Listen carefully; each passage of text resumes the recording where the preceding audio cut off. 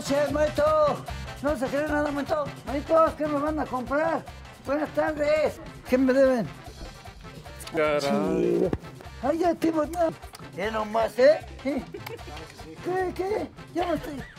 Oye, no mueres, maestro. Pero pues, oye, con razón no he vendido. Ah, me faltó un agua. Cuando yo empecé aquí, eh, empecé de limpieza. Yo eh, empecé de limpieza y yo pues sí me puse ahora sí que un poco abusado. Yo soy, eh, póngale este, eh, empecé a meterme acá adentro de, pues unos me encargaban un refresquito, otros otras cositas. Y y comencé, a ese es donde comencé a vender. Empecé con una, una bolsa grande.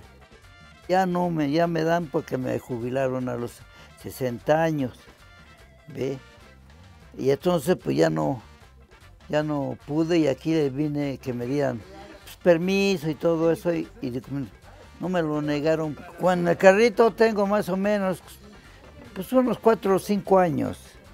Ya de adelante para acá ya, ya empecé, ya empecé. Yo no tenía todavía yo mi, el este, todavía no tenía yo mi aparatito este que me ayuda, le digo.